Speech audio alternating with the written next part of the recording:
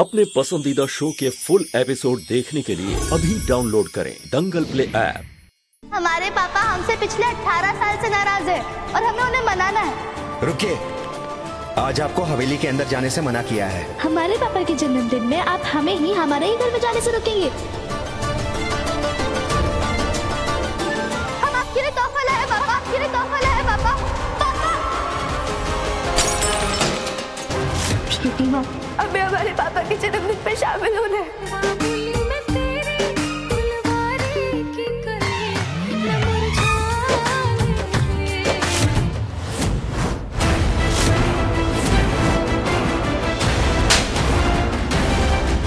हमारे जन्मदिन का इससे बड़ा तोहफा और कुछ नहीं हो सकता।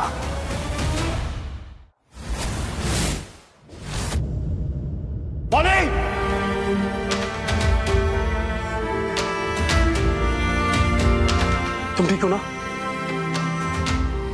तुमको हाथ जोड़ के मना किया था कि यहाँ मत आना।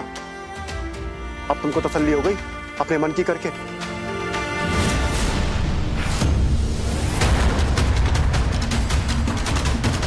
होली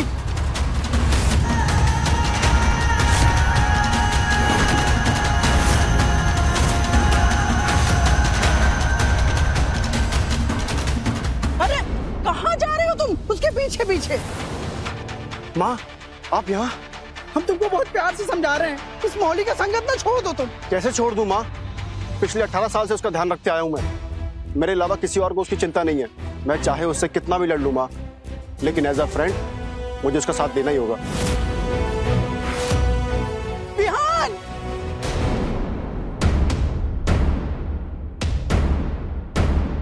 ये कार रचना रचे हो भोलेनाथ। ये कैसा भाग जोड़े हो? मौली का बिहान के साथ। जो लड़की पैदा होते ही अपने माँ को खा गई, हमें चिंता है कि कहीं वो हमारे बिहान का भविष्य न खा जाए। अब हमें ही कुछ करना होगा, इन दोनों को अलग करने के लिए।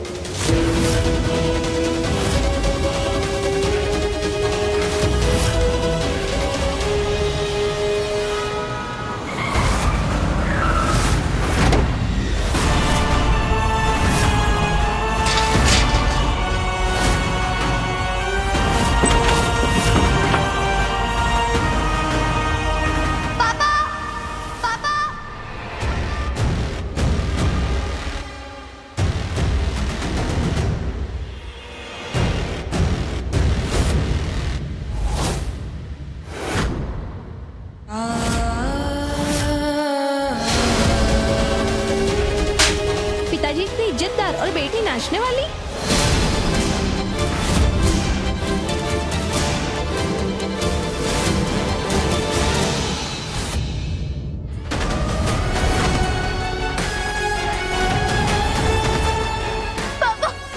मौली रुको। इधर आओ। छोटी माँ आप समझाइए ना पापा को। आपको तो सब मालूम था ना हमने तो आपके कहने पे इधर आओ। हाँ मैं समझाती हूँ यहाँ आओ। क्या कर रही हो मौली? तुमने अपने पापा की कसम ली थी ना? कि हमारे बीच हुई बातचीत का दोबारा कोई ज़िक्र नहीं करोगी?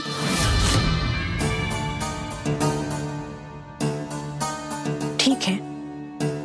वैसे तुम्हारी मर्ज़ी। तुम्हें अगर सबको बताना है तो बता दो। एक बार पापा की कसम टूट गई ना? तो मुझे नहीं लगता तो मुझे नहीं कि इस ज़िंदगी में वो तुम्हें कभी अपनाएँगे। इस ज़िंदगी में वो तुम्हें कभी अपनाएँगे। हम भी ऐसे बुद्धू हैं। इतनी बड़ी बात कैसे भूल गए? छोटी माँ छोटी माँ हमसे गलती हो गई बहुत बड़ी गलती हो गई हम आगे से ना कभी इस बात को अपने मन में भी नहीं लाएँगे। पापा कसम कोई बात नहीं मेरी प्यारी बच्ची कोई बात नहीं। तो छोटी माँ अब क्या करें हमें? मैं कुछ नहीं समझ में आ रही। अब हमें वचन दो छोटी माँ। अब पापा को समझाओगे उनसे हमारे लिए बात करोगे। मौली तो तुम्हें क्या लगता है? तुम्हें अपनी इस माँ पर भरोसा नहीं है? ये भी पूछने वाली बात है माँ। पंडित जी कह रहे थे पूत का पूत हो सकता है। पर माता कभी कुमाता नहीं हो सकती। हमें तो खुद से भी ज़्यादा आप पर भरोसा है। तो एक काम करो। कुछ देर के लिए घर से दूर रहो। जब तक ठाकुर साहब का गुस्सा ठंडा नहीं हो जाता बाकी अपनी माँ पर छोड़ दो। हम्म? पर छोटी माँ हम कहा जाएँगे अपना घर छोड़कर? पगली मैं हमेशा के लिए घर छोड़ने थोड़ी कह रही हूँ। बस कुछ देर की तो बात है। हाँ लेकिन गाँव वालों के सामने ऐसे नहीं जाना। हम्म? बाकी सब मैं संभाल लूँगी। रोना बंद करो।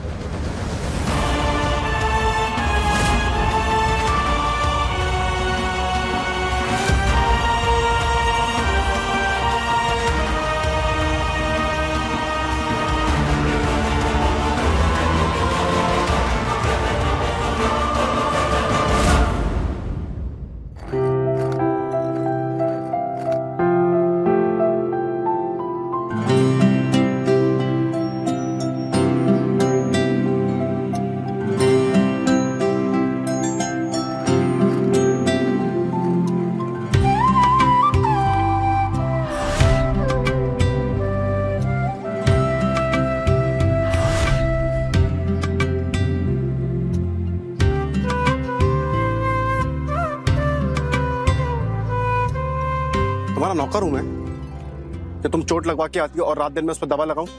नहीं नहीं नौकर नहीं। वो अंग्रेज़ी में कहते ना कंपाउंडर मलम पट्टी का काम तो उसी का होता है ना?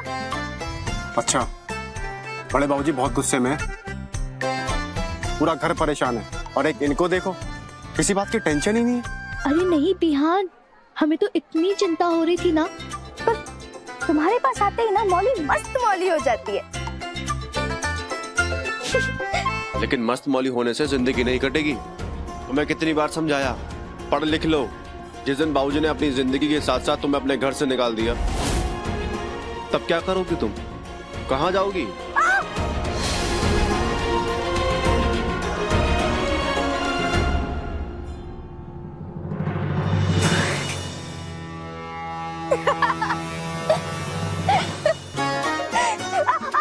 अब लगा?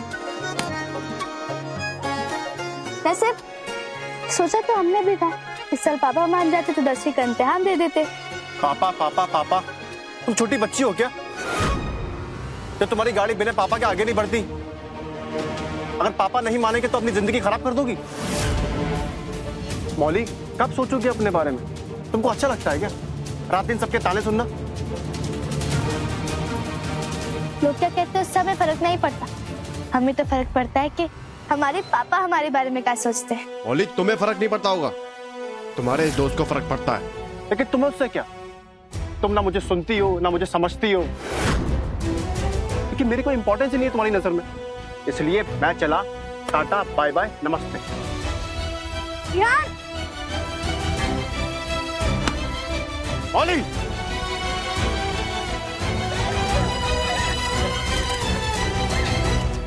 क्या हो रहा है? कोई फ़िल्म चल रही है? निकलो यहाँ से। क्या कर रही है मौली? देखो हम ज़्यादा पढ़े लिखे तो नहीं है पर हमारी नज़रों में जिसकी अहमियत होती है ना उसके सामने ऐसी माफ़ी मांगी जाती है। अब जब तक तुम हमें माफ़ नहीं करोगे हम ऐसे उठक बैठक करते रहेंगे। मौली बस करो। नहीं पहले माफ़ी। मौली बस करो। मौली रुक जाओ।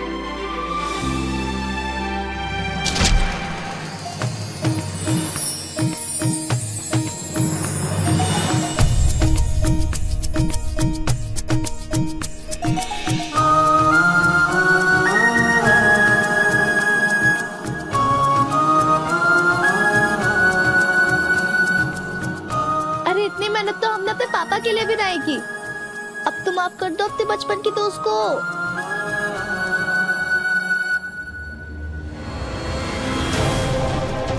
गलती तो हुई है मौली से। पर अब क्या कर सकते हैं? मुझे लगता है कि आपको सब कुछ भूलकर एक बार मौली से खुद बात करनी चाहिए। बहू कैसी बातें कर रही हो तू? मेरे बेटे महेंद्र ने 18 साल तक जिसकी शक्ल नहीं देखी, तुम चाहती हो कि वो उससे बात करे? और आज तो उस करम जली ने हद ही पार कर दी। बड़की मलकाइन बिल्कुल सही कह रही हैं कि लड़की का ना कुछ न कुछ तो करना पड़ेगा। कहा कि एक वजह से हमरे हमरे बिहान की पढ़ाई लिखाई की गाड़ी पटरी से उतर गई है।